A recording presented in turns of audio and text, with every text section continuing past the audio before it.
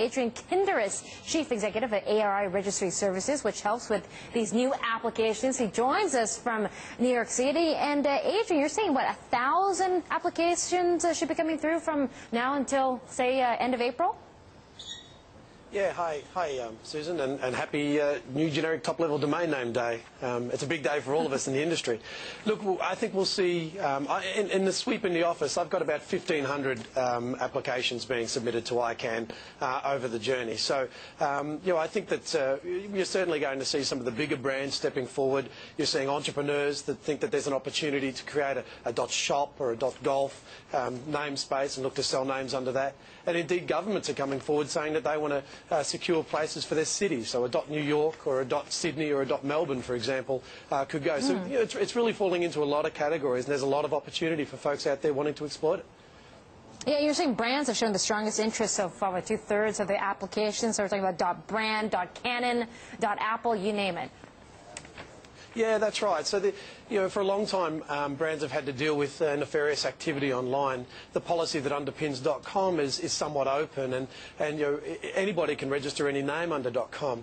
What the new generic top-level domain name program allows is for someone or a brand to create a, a you know, a, a, trusted and, and authoritative uh, part of the internet, a, a, lighthouse, if you will, so that they can say if it doesn't end in BMW or it doesn't end in Nike, then it's not us. Right. And that's really powerful, um, particularly if you're a financial institution like a, a bank um, and saying that uh, .chase or, or .anz in, in Australia, um, you know, that, that's really powerful to say that this is our home on the internet and don't go anywhere else.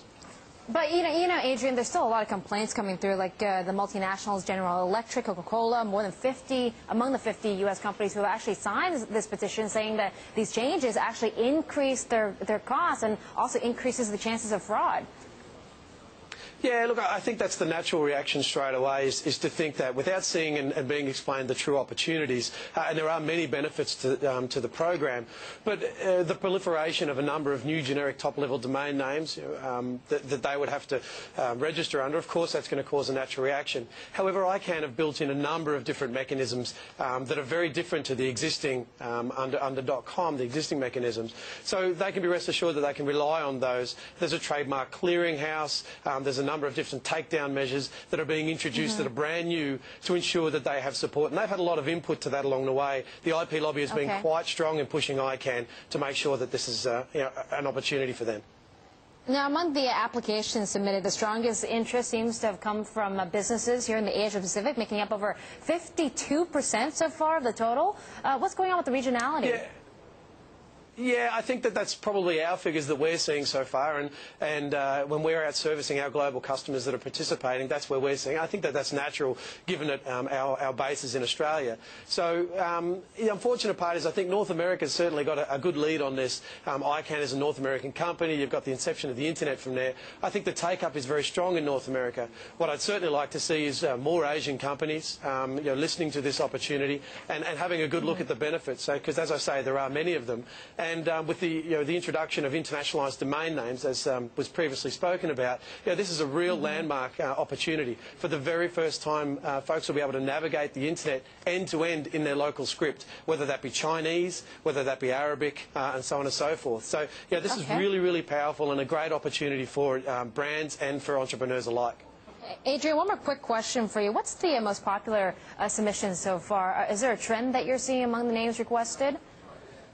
Yeah, it's, it's a tough one to answer because um, some of the best ideas that I've seen you know, come uh, with confident, uh, confidentiality agreements. But look, there's some really good ones. Um, one motor car company thought of uh, every time you registered a domain, uh, every time you bought a car, you would be given your own domain name. And with that domain name, normally you would be in charge of your own content. What they're looking at doing is providing all the warranty information, all the manuals and booklets, all the services and everything else down that, um, down that pipeline to you. So your domain name becomes more a utility. And I thought that was pretty nifty that they were looking at doing that. So we're seeing a lot of innovation, a lot of business models coming through on the back of this mm -hmm. new generic top-level domain name program. Okay, that's interesting. Uh, Adrian, good talking to you this morning. Adrian Kinderis uh, joining us uh, from New York.